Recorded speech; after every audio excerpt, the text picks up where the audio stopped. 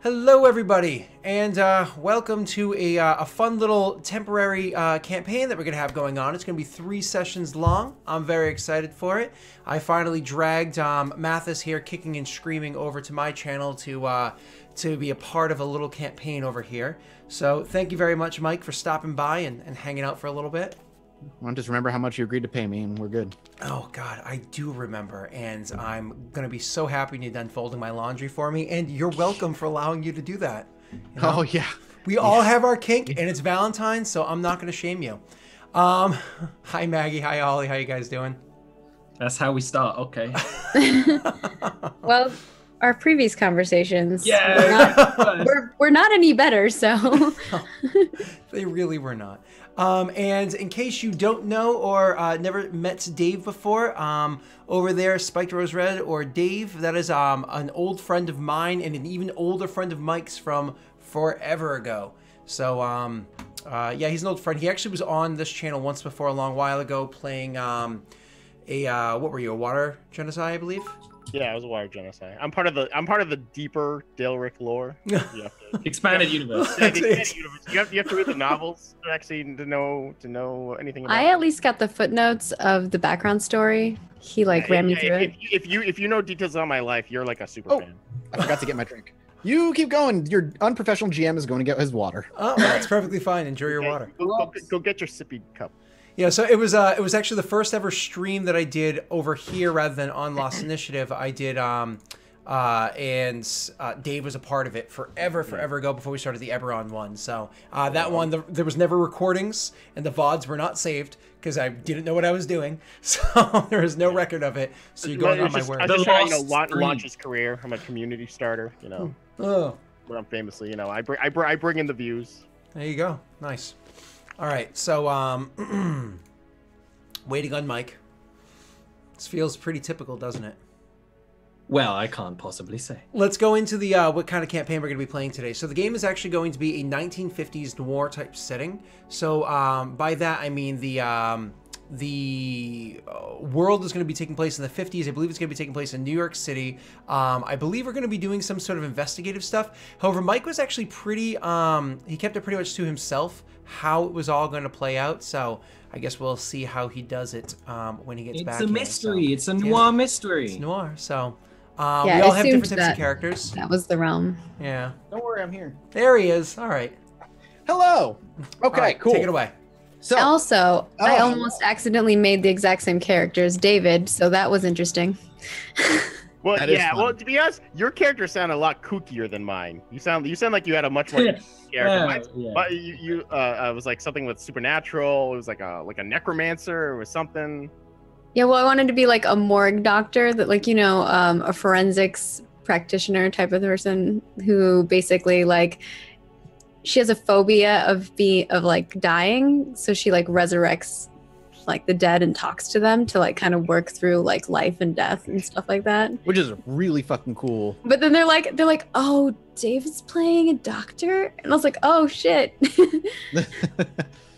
So when Well- you say resurrected, you were you like stringing up skeletons on like ropes and like talking to them? Or, No, I think she means literally no, resurrected. like you know, you just Oh. like when you're working on them, you know, like just wake them up, talk to them a little bit. Just, just wake them up. Try It's it, no some, like. Promethean creation rules, I would assume. I have like this whole. Ba- I spent five hours making this character. I'm like, I'm gonna play her at some point. Someday. No, that sounds like a great character concept for like a, a longer, like a longer, more long-term World of Darkness campaign. Yeah, a lot of fun character exploration there. Also, Dave was like, "Your picture on Roll Twenty looks so different." I was like, "Yeah, this this isn't what I normally look like." it was great. He's like, "How long ago was that?" Well, no, it's just uh, you meet a person in costume for the first time you meet them. it's like, like, oh, okay. Uh, all right, so Mike, go ahead, take it away with the, uh, yeah, the okay, setting. cool, cool. So uh, a couple of prefaces before we get started. Um, stuff that I've already told you guys, but I'll tell the viewers as well. Uh, just so you know, this is going to be about a three-episode arc. Is is the plan? Um, anywhere between two and four hours. Basically, at each session, I have an idea as where I want it to end, and if that ends before four hours, then it's great. If it ends slightly after four hours, around four hours, also fine. Um, it's going to be taking place in the 1950s New York, which we'll get into here. Uh, and I think that's everything I wanted to give them a heads up on. So I think that's good.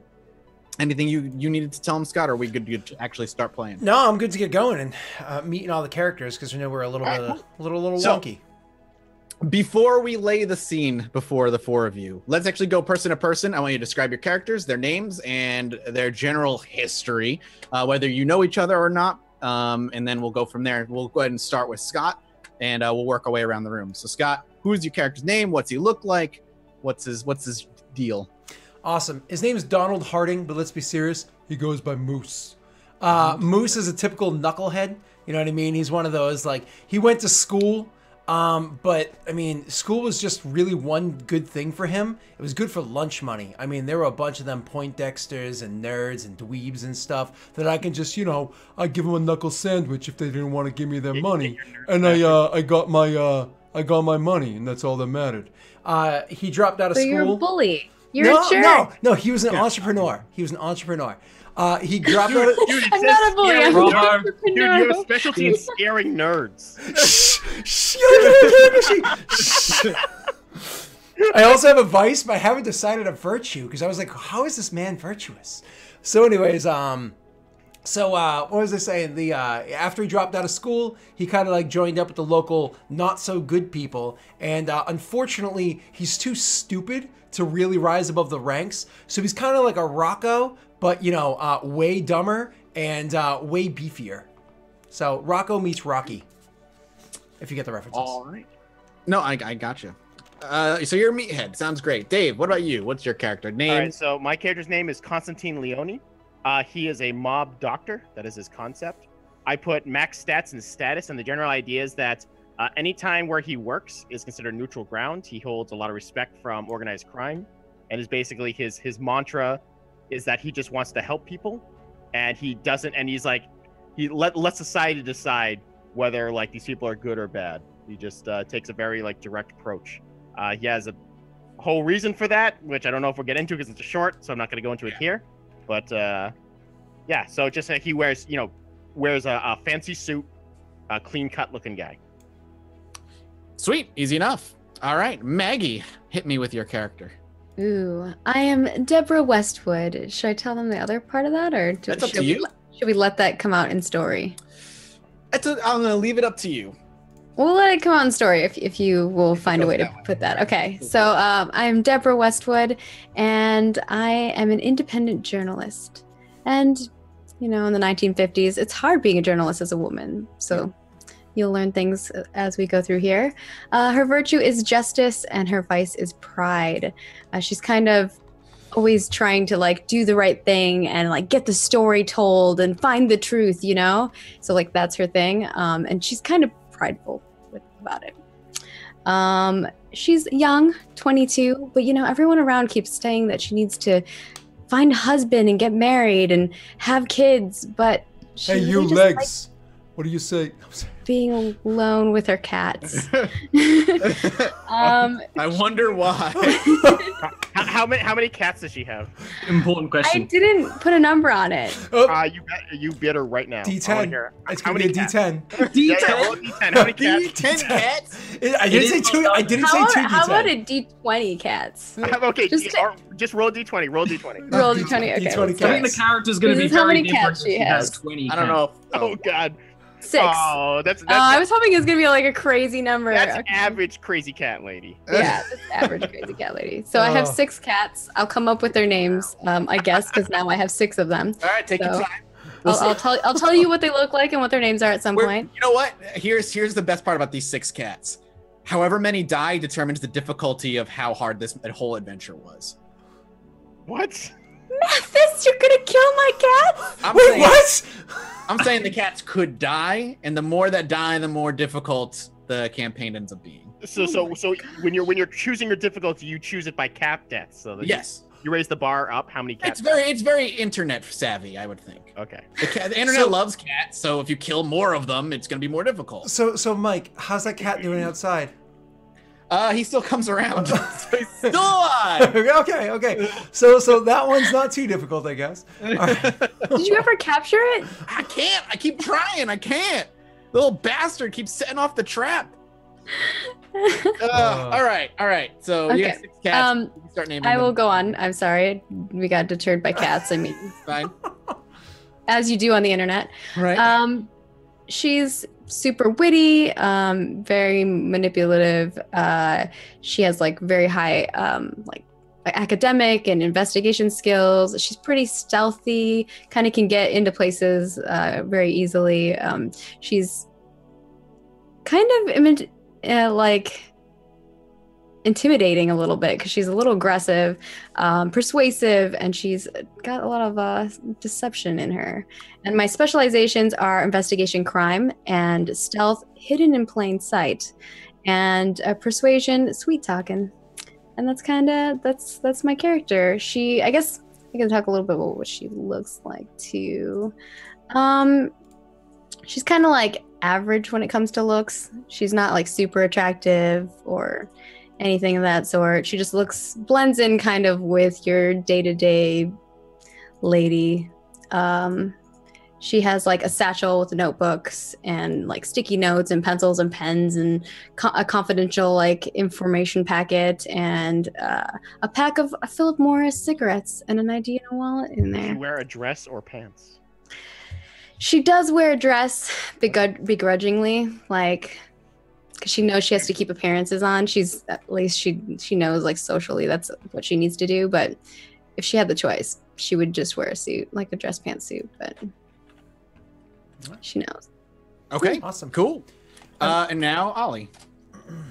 All right, I'm playing Thomas Armstrong Jones. He is British. Uh, he's a photographer from. Are you, uh, are you from saying you Marion- can't do a, a U.S. accent? No, I- he's doing a British accent right now. Yeah, so I he thought he was doing that accent. He was just pretending. to We. Right, discussed right. this. He's in character. Do an English accent. It was too dangerous.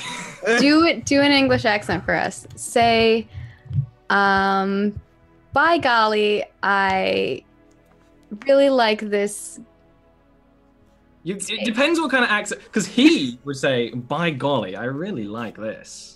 He's, no that he's is me. not american at all Well, he I'm said not, I'm not trying American. I was doing British. American's easy. Fuck, I liked that. That's it. He is a photographer. He takes Okay. pictures. He's he specializes in gritty realism, which is why he's going to America. Because what else is more real than in America and taking pictures of uh, drunkards? And uh, what do you think of us what the heck also Hey, i've seen your drunkards i've been to leicester and i know what it's like Oh. it is disgusting I went to uni in Leicester. You're right. You're, you're probably gonna get someone upset just for the fact that I you, you're coming to saw vomit like every five feet i walked just vomit all the time. just just vomit everywhere. It's a uni town in, in England. It's it's a good place to grow up. uh, but yeah, he he takes photos. He's good at uh, talking to people and and being slightly smart. He looks, you know, uh, I mean, he, he'll he'll probably stand out because he, he would look in place in England because he's wearing a suit, but he'll he probably won't uh, look in place here. Uh, fairly normal looking guy with sort of blondish hair, and uh, he probably has a camera on him at all times because that's his thing. A very fancy camera or Well, it's the 50s, so yes. Okay. Got that light bulb in it. Got the light. It, it, if you're carrying it around, it's pretty fancy. It okay. hangs, I'm assuming it hangs around your neck by your stomach. like put it this way in the 1950s for those of you who don't know the 1950s that well like television this is when television started booming and like printing paper and like like journalism newspaper stuff like started like degrade like going down in in, rel- in that realm and then also tv started towards the end of the 50s started becoming more of an entertainment thing whereas it like started as like news and Right. Yeah, my, my character is very based on the idea that this was the first time that like photography became not just art of like a portrait. Right. That's that's my whole character's It- idea. it's, Cool. but it's all drunkards for some reason. That's It's just he enjoys it. He also i gets feel like my character might know your character like think maybe maybe we taken might- some photos for gonna- like some of the how, much, the how many things dots in fame do you have, photographer man? Uh, I have two fame, so you know. how much fame do you have, uh, journalist girl? So my character doesn't have fame, but So she's like the blogger of the 50s. the other well, He's like, how is he? So. Because there's more to the story. You can't. I can't divulge okay. it right now. Okay, All right, cool. Okay. So let's. Yeah. I, I do have to say one more thing, then Mike, please take the reins in. Uh, everybody, please do me a favor. Um, settings wheel, top right hand corner, click that, turn on automatically roll 3D dice and enable 3D dice. It allows the dice to roll on the screen. And Mike, please take it away. Gotcha. Sorry, just making sure that checks off. Cool. All right. So, actually, an interesting, an interesting topic of who knows who. Welcome to 1951 New York City. Some unknown street and some unknown suburb mixed in uh, to New York City. It is a typical Tuesday night, uh, somewhere a little after 10 o'clock, so relatively late. Yeah, you can still hear cars honking outside. Um, the the street lights are uh, through the fog, dimly lighting an orange hue amongst the roads just outside. And due to road construction, uh, a few of you are getting home a little later than normal. The four of you all live in the same apartment building. You live in Greenland Heights, uh, a nice tall apartment building here in New York City. Uh, nothing amazing. It doesn't look like the bricks are falling apart and the windows are smashed and there's all kinds of problems with the building, but it's also not a luxury apartment building in any stretch. This is not uh, something that anybody would drive by and, and look at and say, oh, God, I wish I lived there. Mhm. Um, it's pretty nondescript mo- for the most part. And the four of you have come across one another occasionally in the past. Uh, once a week, there is a woman who who uh, has an apartment of her own on the uh, on the sixth floor who runs a weekly poker game. Who thoroughly enjoys getting a few of the people that she knows within the apartment together to play poker. You four are some of those people that she likes to get to have poker games together. Now, I'm sure some of you have played together before. Maybe all four of you have played together before. I'll, I'll leave that up to you. Uh, but this particular night, the four of you and her, uh, her name is Janice, will be playing poker together. Now, poker usually takes place in a common room, um, but she's going to be doing it in her own apartment tonight.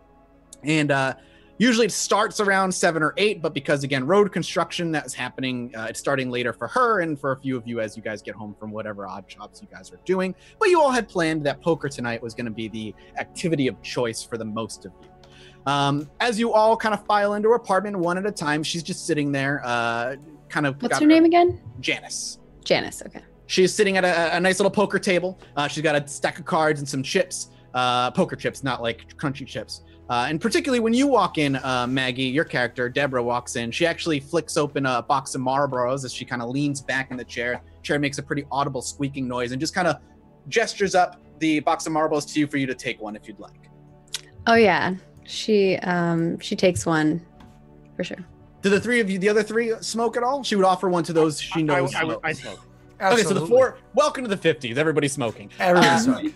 I So was actually- I was like looking at 1950s ads the other day, like yesterday as inspiration, and I was like dying of laughter. Like there's this one with this little boy, and he's like got a plate of like sticks of butter, and this is a person. This is not like a drawing of somebody, and he's I got like a fork You posted it. with a stick, and he's like eating it, and they're like healthy, healthy eating, and then they're like lubricate your veins and arteries, and I'm like, what? Uh, I That's just why we about have you. regulations. Anyway. Moving on. So as each one of you files in, then she offers the same. She'll she'll pop open one like a cigarette sticks out. And she'll offer it to the four of you, and if you don't have a light, she offers herself. Uh, she offers hers to light with a match. I, I smoke and I go, I'm totally cool with this. she smiles uh, and chuckles a little bit at that. As great, uh, she smiles as I'm at glad as everyone does this. uh, and then eventually, as the four of you come in, she just kind of gestures like, "Hey, could you just lock the door behind you? Just it's, we're only, only the five of us tonight." She pops a cigarette in her mouth and pulls it out of the pack, lights it with a match, takes a deep drag. Now I'm ready, and she gestures for the four the four of you to, s- to take a seat. She actually looks at the four of you and says, "Now I played poker with the four of you before, but have you played poker with each other?" I look around the table and be like, I think so. I am eyeing um, Deborah, and I'm like, I'd remember. Yes, I remember you, Moose. Uh, I didn't. You li- sound like you just said something, Scott, and I didn't hear you. D- just the lewd comment. Oh, okay, sorry. So I, uh, yeah, sorry. That's fine. And uh, so you said you remember Ollie and Maggie. Do your character say anything to say like if it's up to you? Basically, I'm letting you. Do you guys have you guys all play poker together all at once or just parts? I like the idea of it, uh, that me and Deborah have have hung out, but I think the other two maybe not. So the Yeah. Dave and Scott hung that. out. Maggie and Ollie has hung out, but never together. Yeah, I sure. never- That's, that's, that's, Never the I never remember who Dave's character is. I'm, I'm like, um, so literally every And my time my I'm like, yeah, good to meet you. fact. what was that? He doesn't remember me, and I'm fine with that. Yeah, I'm like, good to meet you. it's a suit. Are you good at poker? No, I'm I'm dumb. I mean, we're talking bad. intelligence is one. That's like below average. It's two is average. Anything underneath that, you're bad. I, I have one intelligence, one See, dex, that's- one that's why I like manipulation. I'm dumb. Yeah, I'm dumb. That my, is why Dave loves playing poker. With my you, wits, yeah. my wits are two. I'm dumb. makes money.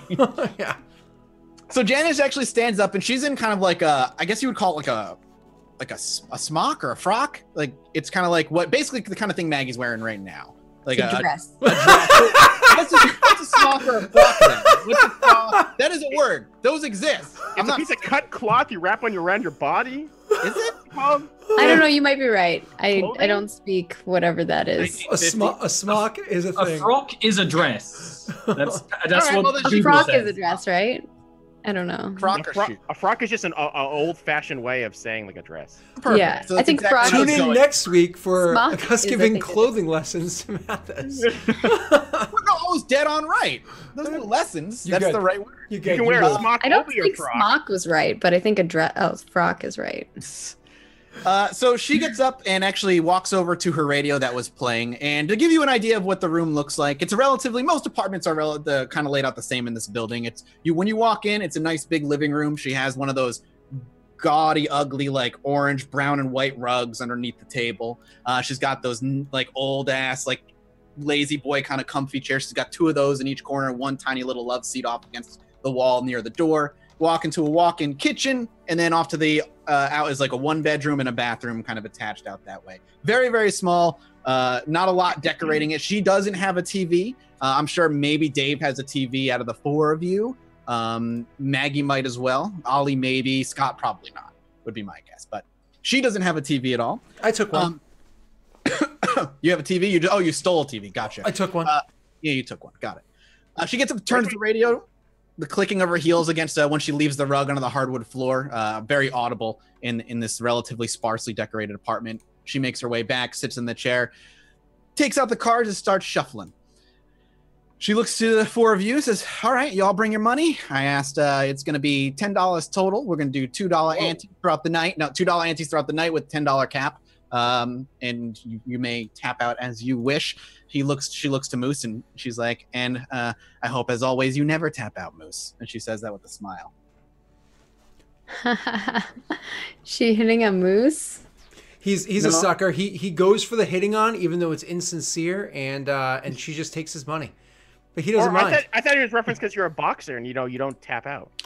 I do fight. I think that might have been it, but he might have. Also, she was saying that said. He might have taken it, It works on way. so many levels. the level I was going on is that he's too stupid to ever win money, and so he likes to just play until he's out, Yeah. and she usually makes some, you know, that kind of thing. Okay, cool. All right, so she starts actually dealing up the cards, and we're gonna play a little poker just to to get you guys started up here. So, um, dice pool for for this particular is gonna be manipulation plus subterfuge. Uh, and if you'd like to try and cheat and bluff, that's always an option depending on how well you roll. Uh, so, uh, if you'd like to cheat or bluff, let me know, and I'll let you know what you need to roll for that. Definitely will. Okay, cool. Um, is anybody not going to cheat or bluff? Or I'm not going gonna. cheat or bluff? You're not going to cheat or bluff. Ollie, are you going to cheat? No, Okay. No cheating on straight this end. shooter. Scott, just Unless, I mean, maybe later down the line, but not right now. I mean, I'm not. more the person to notice someone else cheat. Uh, no, no, no, no. Oh, yeah. Bluffing is not cheating. Are we? Wait. Are we playing like hold'em? Are we playing like five card stud? uh, you're playing five card stud. Okay, cool. So bluffing's not as big of a deal. I'm still gonna be terrible at it. So That's fine. well, that's the Uh, subterfuge part of it, I think. So Yeah, yeah. no, if you're gonna bluff, what I'm gonna have you do is I'm actually gonna have Scott first roll um, uh, a manipulation plus subterfuge roll, and depending on how well you do, we'll give you an extra bonus dice on your actual roll. Okay. Uh, manipulation, subterfuge. Cool. I'm ready. When You ready? roll yeah, I'm gonna need to roll because then the other three are gonna make a roll. So Cool. Awesome. Here we go. Oh, hello. There we go. Great, No. you did really great. Uh, can you, the three of you, make intelligence plus empathy rolls for me, please? Okay. Intelligence. Intelligence. So the cards are being dealt. You all get your hand as uh as you as you you do, and I I'm not curious what Scott's bluff is on this particular hand. Does he does he just be like, "Oh boy, heck yeah"? I don't notice. You do Oh not notice, but he, he got zero success. Whoa. So Yeah, all right, sweet. what, what did I get dealt? What did I get Holy dealt, crap. Mike? What? Okay, so you get no you get no bonuses on your bluff. However, the three uh two out of the three of them tell you're trying to bluff. Yeah, yeah. Like you're bluffing so bad it's obvious, but Yeah. the reporter for some reason can't pick up on it. She's a girl, not good at cards. Oh God. I don't do the empathy thing, okay? um. So, so, uh, you did you say you wanted to know how I bluffed? Yeah, I'm curious. I'm curious if you had in mind how your character was bluffing. Absolutely. I'm gonna look down at my cards and be like, "Whew, I'm off to a good start here. This is great. I can't believe I'm gonna win this already. This is great." with that. As he says Your character looks really nervous while he says that. And, uh, takes quicker drags I from like his to cigarettes. He's imagine that actually it's not because I didn't notice, it's because I don't care. it's fine too. Me, so bad at empathy, good at apathy. Understood. Janice is just she takes a she lights uh takes another drag from her cigarette. She just smirks. She goes, "I bet you have the best hand you've ever had." It breathes out. Everybody, go ahead and make manipulation plus subterfuge rolls, please. okay. yeah, it's annoying. It does that. Oh, Oh yeah. Four successes, five successes, and Wait, zero. who got okay. five? That was that Oh, was the- no, that that was was the wrong one. Oh yeah, so Maggie just, Yeah, uh, just then I've I've got to roll sweeps us. my. Sweeps us.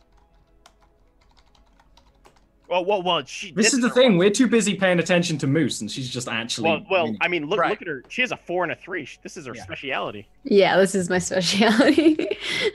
So you know, Moose says that Janice retorts and takes a drag of her cigarette.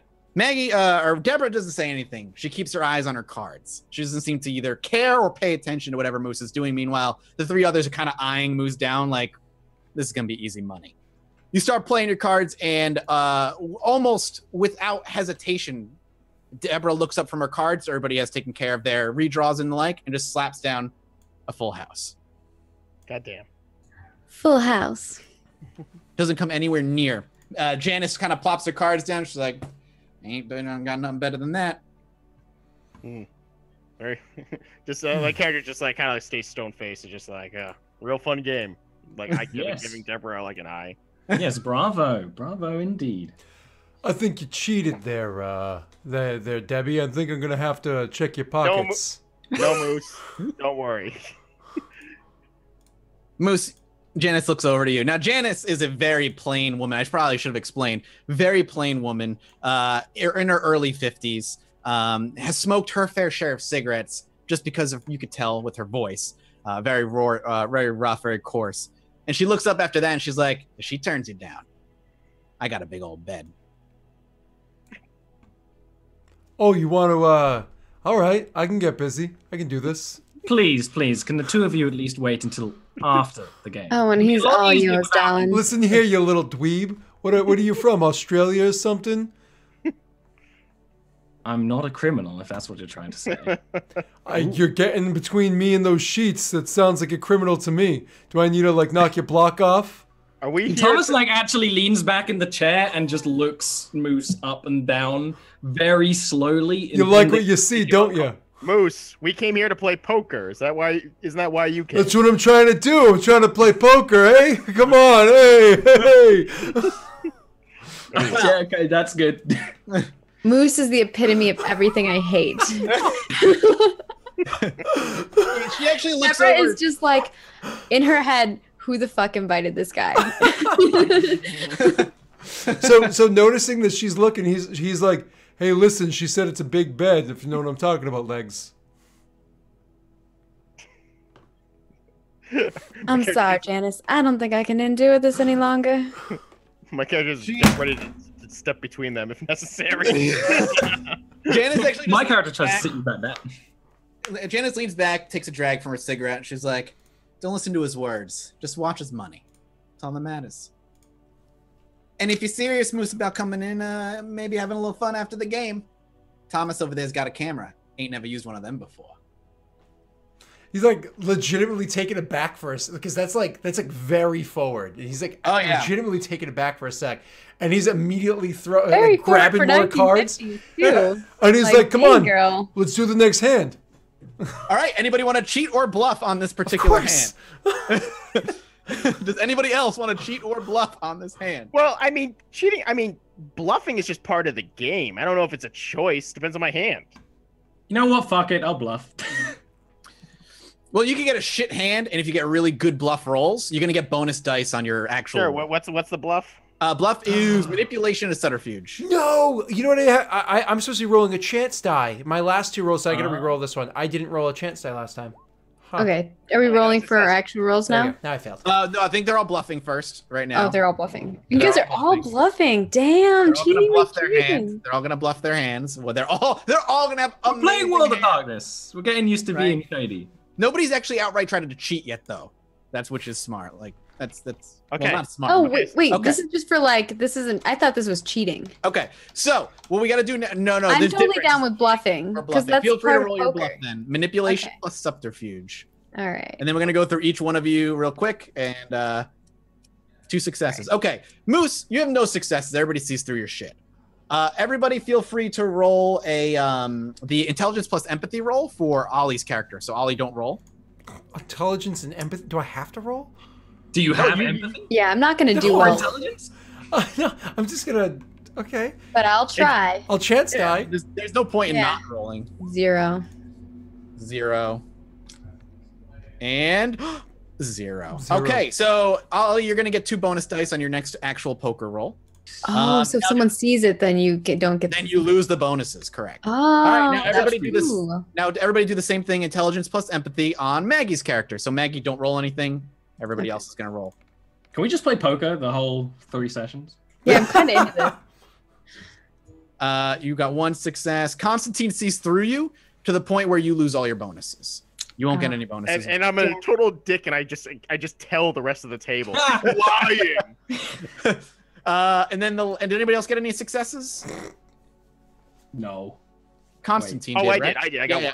So everybody but Dave, go ahead and roll your uh, intelligence plus empathy roll. Uh, Oh, just someone needs to meet a one, and you negate. So the only one getting a bonus here is Ollie on. Ah, so close. You were so close. close. You were close. Okay. No cigar. Manipulation plus subterfuge. Pretty pleased, everybody. I gotta get that back out here. Okay. Subterfuge. Whoa! I did not need to roll four d one hundred and twenties. Manipulation plus subterfuge. On it's on intelligence and unclick intelligence. Oh, Click subterfuge. And go. Uh, Sometimes it like doesn't unclick. Yeah, I'm I'm trying to learn how to navigate. Hey! You got a success, Oh, I Constantine. got a we, we, we got success! it. We got it. Hey! Here. All right. Well, Jeez, hold up. So many Oh, dice. man. Ollie, so you rolled with the two. So uh, it's gonna be a split pot between Constantine and Ollie. So. Fair game. Fair game. All right. All right. Now eight more eight more rounds. Let's go. Hold on, hold on, right, on. everybody. But I need to be I need to be clear though. I need to be clear. The reason why I'm growing good into my subterfuge is because I didn't realize what cards were in my hands. I was too busy being distracted by something else. So I Janet. thought I was bluffing one way. I was, I Banging was trying to get a sneak peek of the bedroom, and so I thought my card said something different. Just to be clear. Of course, of course. Janice, uh, finishing up her cigarette, says, "All right, I got one more hand in me, and then I gotta go take care of getting you guys snacks. Usually, I have snacks laid out by now, but traffic and Is this just the kind of person Janice is? Like, just like she's a complete like, like this is this is like her sense of humor, or is this like surprising us? uh, this is well, if you've played with um, We, this is kind of who she is. This is kind of who she is. She's very Okay. rough around the edges. Doesn't seem to give a shit about anything. All right. Okay. so Uh, we're all, okay. Then, I- then That's what I like about Janice. That's what I'm saying, not like yeah. the other That's girls. do. No, no. If we it was off and weird to you, I would have, I would have told you. But for her, she's a very like loves to smoke, loves to gamble, likes. It's fair. It's a fair question because that is very not Yeah, nice. yeah. I get you. I get you. Fair enough. Fair enough. No, this is very much who she is, So so Um, so we come for the poker. We stay for Janice. and who the money if you make any. All right. But yeah, but you're rich anyway, so you probably don't need it. Um, let that joke just go. So yeah, Janice at the last drag of her last uh, the cigarette she was smoking. She says, "I got one more round of me, and I got to go get you the beers and snacks that I always got." Uh, so if you would, uh, uh, if we'd like, start dealing out cards. Does anybody want to bluff or cheat on this last hand before she walks away? Yeah, sure. Why not? Bluff, Might sure, as why not? well. You Uh, gotta let, let you do. Are we ever really gonna write a re- or do a reaction? Everyone's gonna bluff and everyone's gonna react. It'll just be a bluff, and then who gets bonuses and who doesn't. Okay, okay. So what, what is it again? Manipulation subterfuge, right? Yeah, manipulation subterfuge for bluffing. Okay. That's what poker's all about. Okay, And so then we got two successes. So I need uh four ba- uh, two batches of rolls. So one against Maggie. Maggie don't roll, uh, and again to de- determine it, intelligence plus empathy. Okay. This is against Maggie. Intelligence and empathy. One second. Ollie's negated her bonus. Oh She yeah, you negated it. Now everybody roll against uh, Dave's character, Constantine Leone. She kind of touches her glasses a lot. And that kind of gives it away. talent. Like All right, Man. I'm really good at finding cheaters. yeah. All right, yeah. You you blow Cool. me out. of That's the why you're a photographer. All right. Oh, so you're no a PI. Everybody make a naked roll, manipulation plus subterfuge. naked roll. Oh, that's what's happening with Janice later. Hey-o. She's lucky. Hey-o. All right, no bonus. Still got a one. I love rolling all these zeros. Not enough. Janice, in a in a fit of, of frustration, just angrily puts out her cigarette into the ashtray that's sitting uh, by a little nightstand behind her. She reaches behind, puts it out, and she just kind of throws the cards on the ground. She's like, "Fuck it, take it, doctor. I'm gonna go get the goddamn food." And she kind of gets up in a huff, and she's like, "I'll be back in a few minutes. Feel free to play another hand if you want. I'll be back." And she walks off, uh, leaves her apartment, and heads to uh, one of the. Com- she lets you know she's heading to one of the common rooms, uh, the closest one where she can grab some some food and snacks and stuff that she's Okay. got. So, the four of you would like to do anything, role play, interact, or you know, play more cards, you're welcome to, or I can just. Skip. I, I well, I, I say we play more cards, but I don't need to. Roll. yeah, you don't need to roll. I got you. Yeah, yeah, I that's- definitely pick up and like, Constantine, you're a doctor. You absolutely don't look the type. He says he. he I, I kind of laugh. It's like I don't get that almost ever. I always because he he comes off as very clean cut. Like he looks like I mean generic white guy. Like Generic white guy. I mean he looks the exact type who could be a doctor. So I, I laugh at that. It's like I actually do not hear that quite often. Yeah, Deborah looks over at uh, him and is like, I don't know. He kind of looks like a doctor to me. Yes, Well, we must people- just have different doctors overseas. yes. Whew. That uh, that Deborah. Janice. Deborah's here. Freudian slip. Freudian I'm slip. I'm Deborah. Janice. That's her. Oh, Janice is a better name. You know she's just messing with you, friend. What? Wow. She's not being serious. She never is being serious when she's like that. First the German guy, now you're gonna be messing with me? Do I need to put you in your place too? Moose, you've you, you've spoken to Janice before. Haven't you forgotten? She's played that trick on you every time you you you come here. What? No. Usually I get just too little too drunk and I pass out. This time I'm not gonna get too drunk. This time I showed up drunk, so I don't have to worry about it. Deborah looks at uh, Constantine and directs this towards uh, him and tries to ignore Moose. Oh, so you've been here before. How do you know Janice? Uh, I know Janice for her uh, her wit and her uh, and for the company that she uh, that that that she gathers in this uh, this room. She's a little bit of a fresh air with some, with most of the women. I uh, No, I said, how do you know her? how do I know her? Well, he says that well, Yeah. you know she she uh, she invited me, and I continued to come because of her wit, and she's a very unique woman. Usually you need to know someone for them Yeah, to they, she just She just- invited she you. just Like, she just met you on the street and According, invited you according, her according, to, according to the game master, she just invites everyone in the apartment building. you. She invites those that she likes. Hold Oh! on, whoa! You Oh. made my you made my head hurt like some fourth walls or something. Oh, okay, But I'm there does not seem I, to be- I, th- I thought she just invites everyone. Oh, No, she like those- invites those she likes. Though she does, there doesn't seem to be rhyme or reason as to those that she likes. Oh, as you can oh. tell, the four of you are very different, but she plays poker with all four of you often enough. uh, she said. Um, So it's up to you. she, she, how you so, so he says. Uh, he kind of just gives a wry smile. It's like I know her through a professional contact. You could say. And uh, we've been, Professional sense. Is that what you just said? Yes, Whoa, a you- professional contact. are you saying Well, she's doc- and he- And, he professional? looked at, and I stopped Moose before he even talks for doctoring. for doctoring. Oh, Oh, I was gonna say. you're her, you're her doctor. I was gonna say moose don't Yeah. pay. Well, I wish my doctor would make home visits.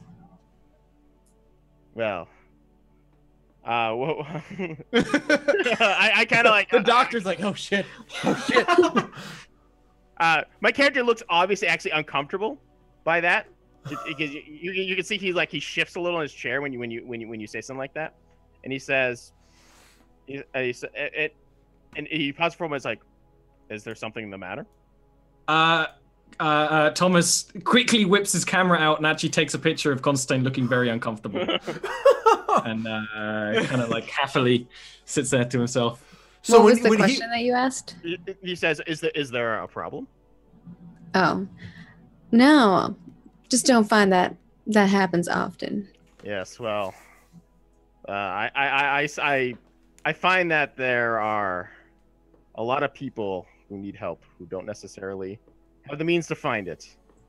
I can agree with that. And with that, time passes. A lot of time passes, actually. And by a lot of time, I'm talking like, I'm drunk. yeah. So Moose is just that doesn't have any idea what's going on. Um, but when I may say a lot of time, I mean like she should have been back in five or ten. It's now been 15, 15 minutes or so, and uh, it's starting to get a little worrisome to the point where the I'm assuming the four of you eventually are like, maybe we should see if she's okay and go see if she's around. Uh, and it's at that moment where maybe one of you opens your mouths to let loose the the thought of going to check on her or say something to raise concern. Scott, Yeah, she's right. been she's been taking a while. I'm I'm gonna go check on her. Now I'm gonna get up and immediately check the bedroom first. it's as soon as like your chair, your the wooden chair against the wooden floor creaks off uh, that distinct kind of rumbling noise, and you stand. The four of you hear something that actually I'm sure the at least three of the four of you are incredibly familiar with. Two loud, distinct gunshots coming from above you. Uh, quick question: Do I that? Do I have a gun? Did you buy a gun? I mean, we Likely weren't, on we- you. We, weren't No. told how much money we had. Starting money. There is no starting money. Well, There's There's no- no starting money. That's why I asked if we got anything. I have I have right? pants, a shirt, and boots. I imagine out of the four of you, two of you might have a gun. I, we, I we work for the mob. I, That's what I'm saying, I, one I for- planned that my character had a gun, but So- I, Yeah. And you then I would say yes to Moose and yes to Dave, but probably in your apartments, unless you feel threatened to coming to this place every time you play poker. It makes sense. It's sort of like neutral ground. You don't bring a gun. M- Moose grew up in in like Midwest. You know, Put it uh, this way: America. Janice doesn't like it when you bring. That's a fair. Okay. Then I wouldn't bring Okay, it. Then I fine, wouldn't bring fine. it. That's that's so so my so so at the sound of the gunshot, my, my character will hop to his feet, and instinctively, uh, I'll point to Moose, and I'll and I'll point and, and I'll point to uh, uh, Deborah, and I'll say, Deborah, stay here. That's funny because I would lazily look up and be like, "Was that a Glock?" yeah, definitely. Oh, I'm from not staying here. I'm gonna go see what's going on as well. And she hurries and grabs her her uh, And Thomas, what does Thomas stuff do? and puts it around. Uh, would would watch and see Deborah, and then seeing probably Constantine a bit confused. Like, well, she writes stories. This might be the big break. And then All right, Follow it's after not a her. break. Those are those are fresh gunshots, which means that someone is currently shooting. so, um, what ends up happening? Uh, and after you guys are actually kind of clambering and running around, grabbing whatever you want to do, uh, you know, Deborah grabbing her bag, and Ollie got his camera ready, and Moose being confused, and uh, Constantine kind of just hopping to action. After that was that's probably like a good ten or twenty seconds since the first two gunshots, and then finally a third gunshot fires off right as the apartment door swings open Oh no! And Janice is actually walking in with an armful of snacks and uh she's got a couple like beers jammed in there but she looks very confused I'll, I'll rush she towards him. kind of saunters You're okay? yeah, you okay? We heard some gunfire. Did you see anything?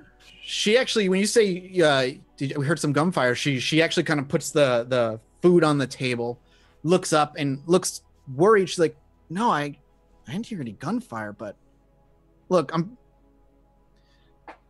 i'm sure something's i'm sure i'm doing something wrong or something's off but i think the elevator is broken Uh, I'm gonna, I'm, gonna- I'm gonna like, I'm gonna, if I have like a pen light, I'm gonna like look into her eyes. Yes, absolutely. You, And I'm gonna, I'm gonna do, I'm gonna do an intelligence. do me- pen lights exist in the 50s? I don't know. I, I, I have some base. uh, You can walk over and describe I'm gonna lamp. look into her eyes. I'm, I'm gonna, a light bulb. I'll check the elevator. I'll see if it's broken. So is it instinctive? Do you ask for permission? You just kind of like reach for no, no, her eye? I, no, I like, I, I, I move towards her, and, and it's just like, uh, uh, just like keep your eyes open for a moment. Yeah, all right. you should she doesn't fight. And uh, you go and examine the eyes, looking for dilation, and everything actually seems normal. A little more dilated than usual, but that's not necessarily abnormal in terms of like someone who's a little worried or panicked. I take her pulse. Like, ha- is her heart racing? Is it normal beating? Uh, it's a little faster than normal. Nothing like pounding, but it's definitely like she seems nervous. And as you actually, you know, grab her wrist to feel for her pulse, she definitely feels clammy and like a little um sweaty and like a little sticky, you know, ner- nerves and, and the like. Again, everything that you're t- you're just instinctively as a doctor, you're like, okay, this is all. She seems nervous. She seems nervous. She seems nervous. Okay, so I, I, I tell her to like, uh, sit down for a moment. Uh, Mhm. did, did Moose go out the room? Checking the elevator.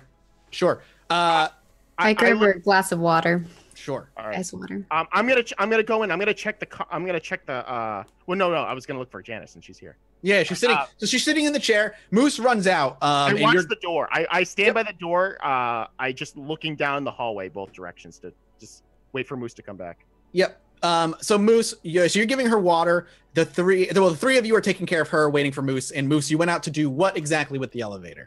Check on it. See, I, I'm a mechanic, so You run over to it and you just press a button. Now this is the old timey elevator with the iron grate in front of it and all that stuff.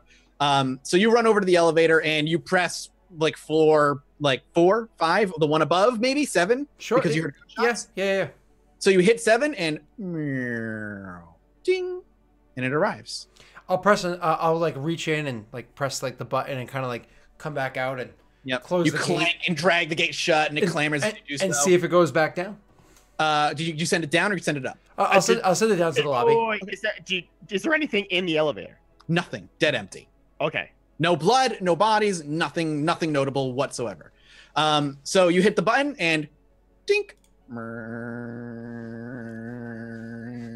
I guess she's crazy, and I'll, I'll turn around and go back in Okay. and like get, be confused by all the fuss that's going on. But Okay. So ahead. Moose walks in, still kind of drunk and confused looking. Janice is sitting in the chair. You know, Deborah's got her some water. Day, uh, Constantine is probably looking her over. Tom is keeping an eye on the door, waiting for you guys to come back. Uh, and you walk in. She's like, "Did you, did you see the elevator, Moose? Did you see what I'm talking about?" We're all looking at Moose. And at this point, she takes out another cigarette, lights it, throws it in her mouth. Huh? All right.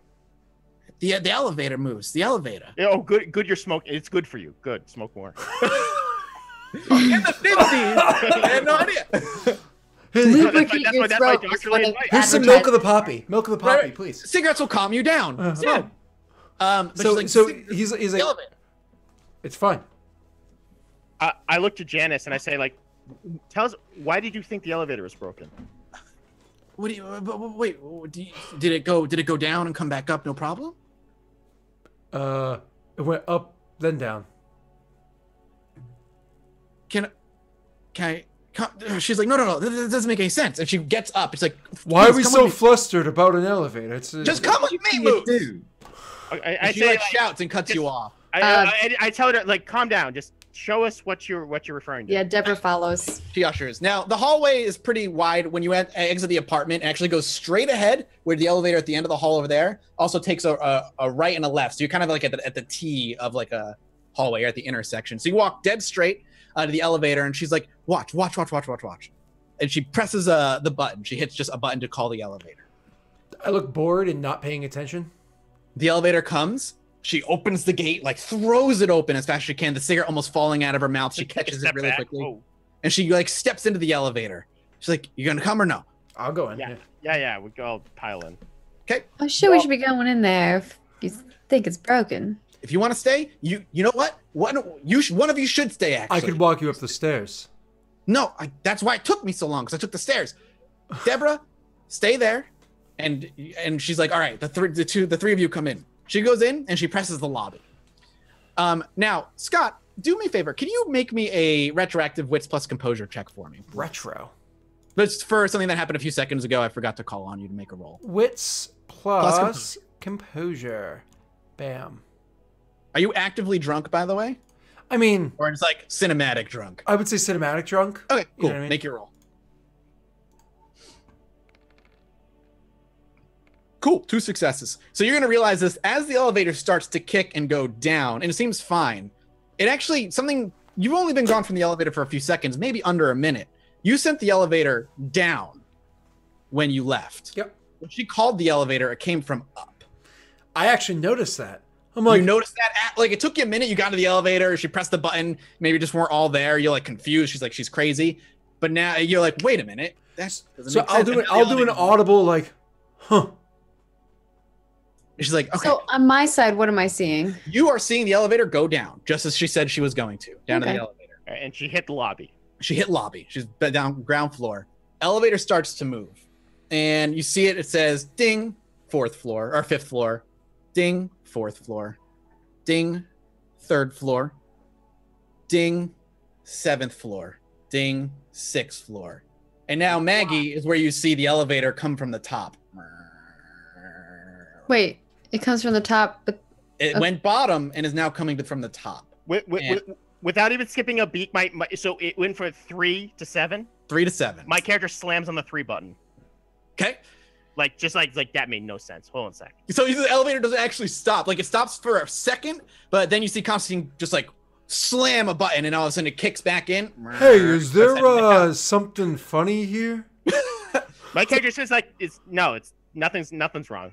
Just hold ding, on. No, It's- the thing was going. It went No, no, down, just- and then it came hold on, from just the. Hold on. ding, Hold on. ding, fourth floor, ding, seventh floor, Oh, you. Ding. My ding, character like my character when that happens, he's like, what? Mm. Like, what? six, and then all of a sudden you so Maggie, you see it again. Uh, once you once you're good, so you see the elevator again go down, and then co- come back from the top. When, when- when it stops, I throw open the gate and I charge down the stairs. I, I head towards the stairs. My character's Okay. like, my character is like, you, he's never acted this unhinged before. where is the elevator? Like, is it staying in that spot where they are right now? Yeah, so you saw it go down and come back. You saw Yeah. it go down and then come from the top. Then Yeah. Constantine, before the gate even had a chance to open, you could see him through the gate. Before I had a chance to open, Constantine slammed the button. They went back down, and then it came from the top again. And then Constantine threw the gate open and went sprinting by you. He went sprinting by me. Say, Yeah. saying, saying out loud, it's like that. That's impossible. That's impossible. What? What's in? What's the in? the He doesn't- thing he does- he it's, doesn't it's- elaborate. And Janice, and now Janice is like, with you freaking out and running, she starts freaking out, and she's like, "I told you, I told you, I told you," and she like starts running out of the elevator as well to chase whoa, after. whoa! Con- someone get her a sedative. We lost our doctor. Oh. Did you see that? I'll actually say to to uh, Ollie and um, Ollie, sorry, to Thomas and uh, Deborah. There's a perfectly rational explanation I'm- for all of it. You guys, that. wait, are they by me now? I, I'm Yeah. so confused because they're- they were on. They, I thought they were in the elevator when they Stop. you were right, and you were right outside the elevator waiting for it. Gate open. Constantine ran by you, the doctor. The other three stayed in the elevator, but they're coming out now. So that, Oh, that's okay, Moose, okay. Ollie's character Thomas, and Janice. I thought that he came from stairs. That's what I was getting confused. He's running No, he's he's running to the stairs. Must be a ghost. Okay. And, and, must and, be a and- and I ghost. start, and I start going downstairs. Gotcha. We'll get to you in a second, Scott, Yeah. uh, Dave. Uh, the three of you, what are you doing now that the elevator has you come out and Constantine just sprinted off past Deborah? Uh, So, Deborah, you, Did you guys? Did it Yeah. skip? What just happened? It must Janice- have just gone up and down, and we didn't notice or feel it. No, that doesn't. No, make it. no, no. Uh, it's a it's a ghost. Nana used to Can tell I me about ghosts. Can I examine the elevator? you are welcome to examine the elevator. I would like to examine the elevator. What do I need to do to examine? Uh, it's like a perception. Uh, well, if you want to do like a, a full inspection of the thing, is that what you're looking to do? yeah. Um, then that's going to be for you investigation plus uh, wits. Wits plus investigation. Okay. Yeah. Um. And it doesn't look like it's like a crime or anything like that. No, the elevator looks. Not it yet. seems to act normal, completely normal. Two successes. So you walk in there into the elevator, and again, it's it's completely normal, at least on the outside and the inside. You start looking at the buttons, and uh, do you try the elevator yourself, or do you not dare touch it? Uh, I'm not gonna do that quite yet. I'm just kind of looking to see if I see anything out of the ordinary. Right, right, right. You actually don't notice anything out of the ordinary. There's no blood. There's uh, no loose gears or anything like that looks oddly broken or obviously broken. No wire sticking out. Everything looks and feels like it should be acting normally. All right, I look for in the elevator. There should be uh, either like an emergency phone, or there's like contact details somewhere in the apartment for like an engineer. Usually in these kind Usually, buildings. even in the 50s, there should be a Yeah. phone that you could pick up and uh, Yeah. and do you if you want get to the do you lobby. want me to check it? I can I can look. I, I'm a mechanic. I can look. I mean I don't know why is everybody freaking out. No, but I mean it's it's got cords. They move. I mean it's it, listen. I've worked on some pretty nice muscle cars. They get way more beastly engines than this thing. So this is nothing. I can open it up and look at it. I, I hate to inform you, my dear Moose, but an elevator is exceedingly different than a car. I mean also, it doesn't belong to any of us, so I think you just leave it up to the professionals to do this kind of thing. what about the doctor? How about this? Why don't we just go find him because he's kind of squeamy somewhere. Janice is actually uh, runs her fingers through her hair and she's like, "He went to go check the stairs. The stairs. I, uh, I was able to get down through the stairs, so they should work, right?" You know, this gunshots. Yeah, I'll, I'll go check on him and see if he needs some medical attention. I, I think I'm funny and I walk off. I um, click my Deborah, like, fingers at that her point, and then I, I point to Deborah and's like, the gunshots were upstairs. and you run downstairs, didn't you, Constantine? Well, I, I attempt to. Yeah, yeah, we're gonna get to him in a second. I would start going upstairs. Did you pull the phone, Thomas, or no?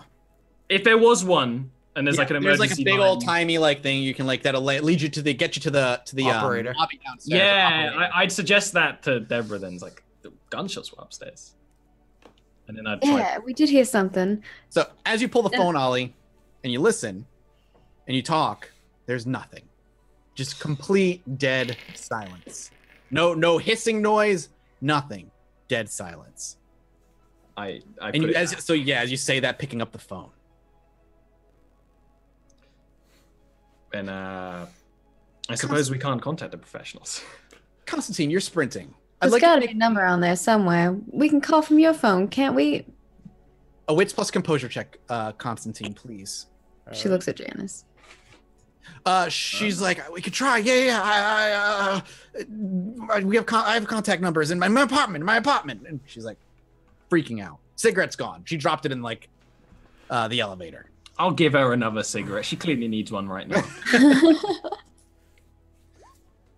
One success. That's all you need is give me a success. So, Constantine is sprinting down these hallways. He's desperate for logic, an answer, something that makes sense. Uh, the elevator threw him off kind of wildly. As he's sprinting, he's he's a perceptive man. He's an intelligent man for an eye with an eye for detail. That is his profession. He is to look for things that are out of place or wrong in the human body, and it's easier in the real world than it is in a human body. You're running through the hallway, and at the end of the hallway, before you get to the stairs, there's usually a window that leads outside. And usually, that window, even at night with the street lights and the moonlight, uh, a pale orange glow typically comes through, uh, illuminating the wonderful peeling green paint and the semi dirty rug that gets vacuumed or brushed up or swept once every other week. Um, and, and the dancing glow of maybe a moth bouncing on one of the lights in the hallway itself. As you're running towards the window, those little details, the orange glow, the the ob- the weirdly illuminated paint that's being hit by the street lights, the moth, none of that is happening. And as you get closer and closer to the window, you start to realize there's no light coming from the window at all. And that's never happened. Again, he clambers closer and closer and closer until you can finally look out. And when you look outside, you see nothing but black. A starless sky. The buildings and the streets are completely missing. The building looks like it is floating in a void of nothingness. Oh, it, look, a little, okay. So my kid can does the does the window open? You, you try and it does not. But you can. It may just be locked in, in a panic. Um, Okay, well, I, I, ta- I take a moment. I like when I can't get it open, I do calm down enough Okay. to properly look how this window opens and if it can. a, it's a sliding up kind of window, and it is not budging no matter how hard you try. All right. Um, wh- what floor? Do, what floor is my apartment on? Uh, your apartment is on the fifth floor. So what? Two floors down. One floor down. You're on the sixth right now. I'm gonna head. I'm gonna actually head to my apartment. My my goal is to uh, retrieve my gun, and to try try one of my windows, which I know open. Okay. As you're about to hit the stairs, that's when you hear Janice behind you scrambling uh, to head up to you and probably where. Uh, I, I, I actually stop her. Like Janice, head back to head back to the group. Something's going on here. I don't understand what, but you uh, just uh, uh, don't follow me for the moment. and at that, we'll take our first break. Okay. First first hour break. We'll be back in a little while. We'll go grab drinks, go to the bathroom, just a few minutes, uh, and we will continue on with this merry little adventure uh, with these these Yes, people. Thanks for watching. Mary. That's Merry what little we'll call it. this is a, fine. just a happy little adventure. It's all. My What hand is a little bit in your frame. I just noticed that right now. It's just like, oh, Whose hey, frame? Yours. Oh hell yeah! If you if you came a little closer, I could pet your face. Which side? Oh, Which yeah, yeah, right there. Yeah, Right yeah, there? Yeah. Yeah, Oh, high five. I Yeah. can touch you. Oh, hey. All All right, right. we'll be back. All right. Uh, see everybody in a couple minutes. Bye.